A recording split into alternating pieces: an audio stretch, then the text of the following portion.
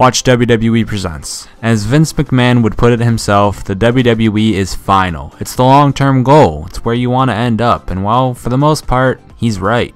Not everyone thinks this way, but these five people possibly should have. I'm D Wicket from Watch WWE, and these are the five wrestlers who shouldn't have left the WWE. Number 5, Randy Savage. Allow me to correct myself for this one alone. WWF. As back in 1994, Randy Savage decided to head off to WCW. A lot of controversy surrounds his leaving the WWF. Many people believe he slept with Stephanie McMahon. Enjoy that haunting image. And Vince wanted him out for that. However, on his last WWF appearance, McMahon, who at the time was a commentator, spoke very kindly of the Macho Man. So, you know, question mark. Randy Savage was the only big WWF name to head to WCW and never return, and wouldn't get himself mentioned again until after his death. Number 4. Chris Jericho. Let's make one thing clear. Chris Jericho is one of the greatest professional wrestlers of all time.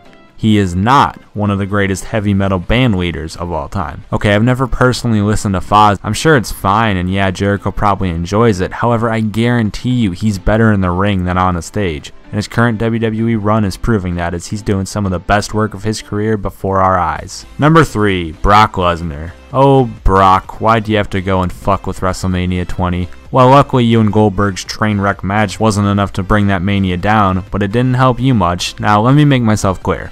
Brock's UFC stuff is fine. He's genetically freakier than Scott Steiner and could probably punch the skin off of me, and that's great. However, what wasn't great was what Brock actually left the WWE in 2004 for professional football.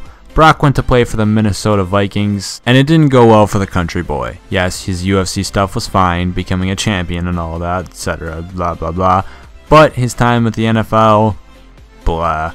Number 2, Stone Cold Steve Austin. When the Rattlesnake himself admits it was a huge mistake to walk out, you know it was a huge mistake to walk out. Back in 2003, Stone Cold was transitioning down from being the top guy and was starting to put over the younger talent. One of these guys would be the aforementioned Brock Lobster, mayor of Seafood City.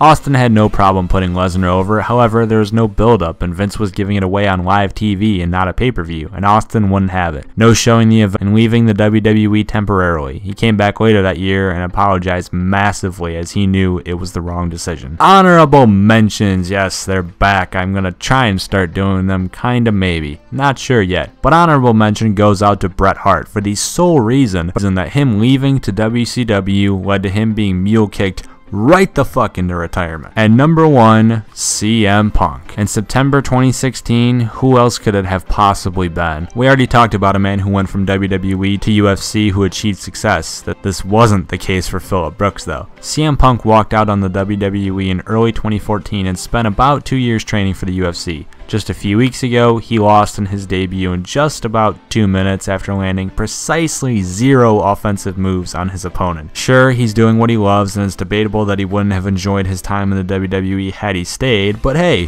fuck you. Winky face. And those are the five wrestlers who should have just stayed with Vinnie Mac in his giant fun playhouse of big sweaty dudes what are your thoughts? Tell us in the comments below, and if you like what you saw, check out our other work over at Spacebound Watch Sports and my personal channel, D Wicked. We'll do stuff in the future. Don't worry, my friends. Just you know, stay calm. Keep yourself updated by following us on Twitter at YTWatchWWE, and of course, if you like the video, like the video because common sense, and subscribe for more abandoned wrestling content. Thank you all for watching.